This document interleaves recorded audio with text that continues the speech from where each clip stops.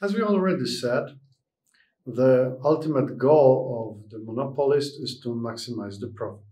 Let's have a look uh, at how profit can be maximized in monopolistic situation. Okay, uh, the first thing that we need to remember is marginal revenue must be equal to marginal cost. This is our uh, condition for profit maximization. Uh, so let's draw the graph. We've got quantity and price here, and the demand, demand in the most simplistic version, linear function of demand. Uh, now I'm going to draw the graph, pay attention to the order, because this is the order that also reflects uh, the order of your actions when you try to solve it, when you get a, a real life problem and you have to solve it right? What you need certainly is demand. You need to get information about demand.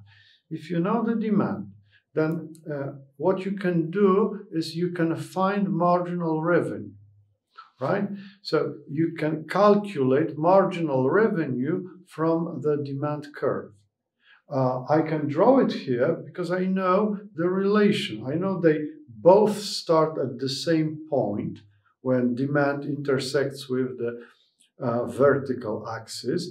This is the point where marginal revenue starts and it hits this horizontal axis in the middle, right? So it divides this distance made by demand into two equal parts. That's how we get marginal revenue. Then we need some information on total costs. And if we know total costs, then we are able to find average cost and we are able to find marginal cost. We can calculate average cost and marginal cost if we have information on total cost, right? So these are two major things that you need to solve the problem of monopoly. You need to know the demand, you need to know the function of total cost, how costly it is to produce. Now that we have already calculated marginal revenue from the demand function. And we have calculated marginal cost and average cost from total cost curve, from total cost function, in fact. Then we focus again on our condition for profit maximization. We are looking for the point of intersection between marginal cost and marginal revenue. Once you find this point, you get the idea of how much you should produce and supply to the market.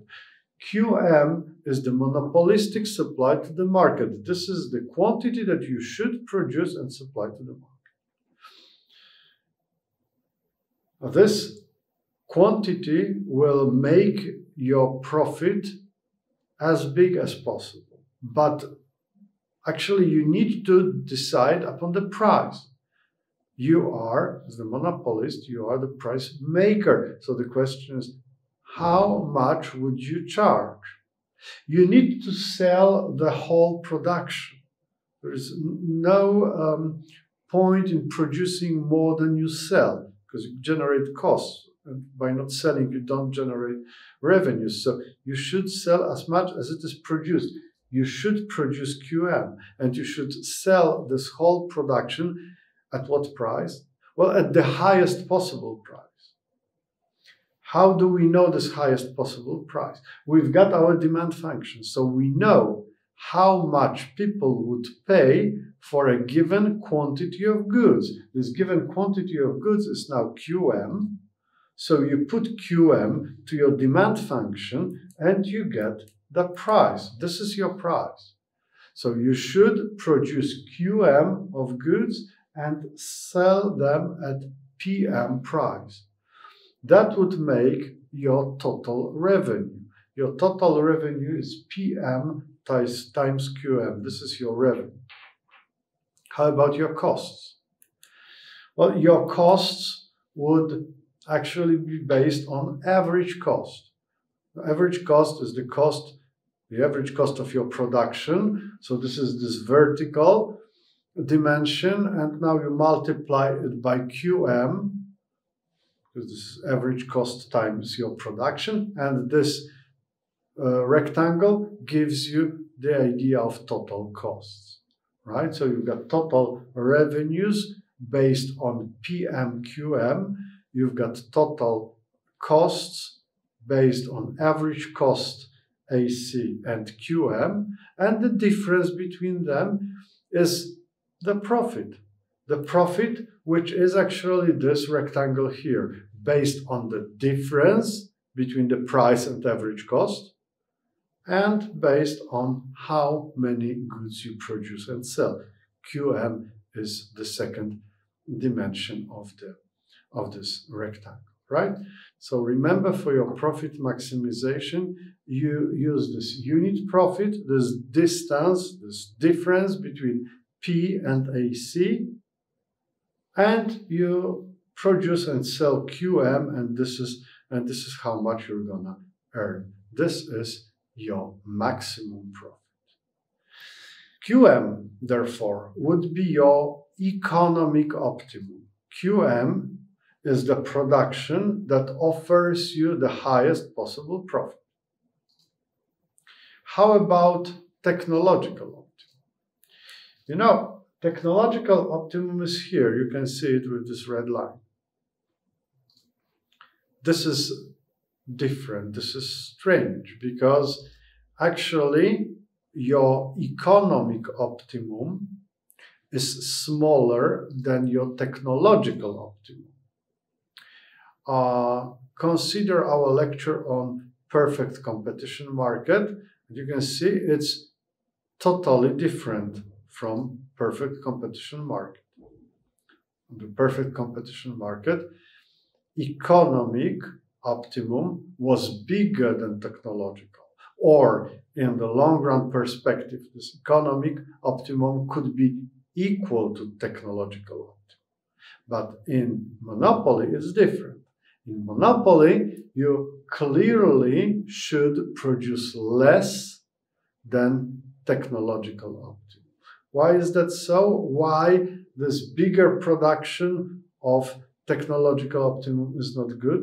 Well, it's not good because producing in technological optimum, you can save a little bit on costs. You can see that this red line is slightly below our average cost. So you can produce in a cheaper way, slightly cheaper way. But if you want to produce more, like for technological optimum, then when selling to the market, you need to decrease the price and you need to decrease your price in a very significant way. So you save some on the costs, but you lose a lot on the selling price. Hence, technological optimum is not what you want to have. This profit, this red rectangle, is smaller than maximum profit. Don't use it. We said that a single buyer has no influence on the decisions of the monopolistic business. So the question here now is, does monopolist care about price sensitivity of their customers? We are going to have a look at market supply of monopolist and price elasticity of demand. As you remember, price elasticity of demand tells us about sensitivity of customers to prices. So let's draw something. Have a look at the graph. We've got our Q and P axis and our demand, linear again, and marginal revenue and marginal cost. And we know that for profit maximization, our monopolist would try to equate those two, I mean marginal revenue and marginal cost. Therefore, the quantity appears here and the price. This is the quantity produced by the monopolist and this is the price that is charged for those products. Look at the demand. As you remember, linear demand function has variable elasticity. This elasticity is very high up on the curve, is very low down on the curve, and in the middle, precisely in the middle, this elasticity is 1.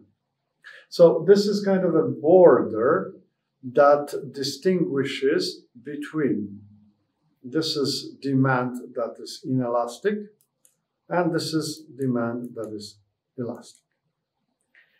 Our conclusion here is the monopolist would always operate in the range of elastic demand, where the customers are price sensitive. Why is that so? There are a few reasons. Imagine that our monopolist would like to violate our conclusion and would like to produce quite a lot. I mean, uh, would produce in this uh, area on the right side, right, where demand is inelastic. First of all, you would see that this production would be connected with negative marginal revenue.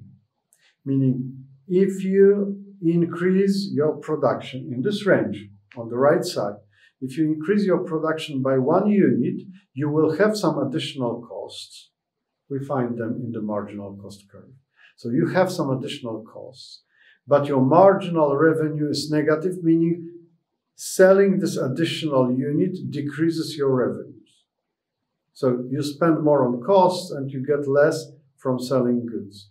Would you like to continue that? No. Right? If you are a reasonable manager, then you would try to decrease your production. And if you start decreasing this production when you are on the right side, when you start decreasing your production, you see two things. First of all, when you decrease your production, your marginal cost decreases. So that's good. And you can also see that your marginal revenue increases. It's negative, but it increases. I mean, this is a small number now. So when you decrease your production, it was too big. If you decrease your production, then you see your costs are smaller and your revenues are bigger.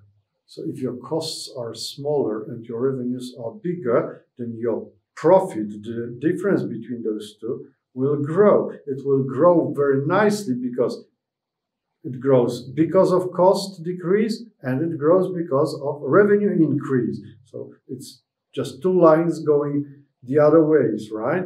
Up and down. And the distance is bigger and bigger. So you get a very significant incentive to decrease your production if you are on the right side. When you are not on the right side anymore, I mean, if you are going to the left, to the left, to the left, you hit this barrier of, of uh, unit elastic demand and you move on the left side where demand is already elastic, at least a little bit elastic. What now? Look at the graph. If you just exceed this border, you would see that still marginal cost is bigger than marginal revenue. When you exceed this line of unit elastic demand and you decrease your production, you keep on decreasing your production, you would see that your costs are smaller and now your revenues will also be smaller. But you know, if your costs go down that much and your revenue goes down only a little bit, then you are still better off. And this idea of your costs going very much down and your revenues going down just a little bit, this idea is true as long as MC is bigger than MR.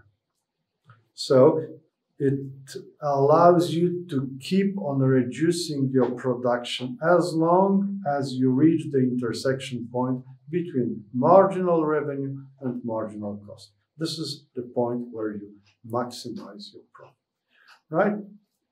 So once more, look uh, at the slide. that summarizes what I told you about the previous graph, right? It allows you to understand why monopolistic businesses would always try to lower their production, uh, to save on their costs, to supply relatively small quantities to the market because those small quantities allow them to charge a high price. And this is what monopolistic market is about.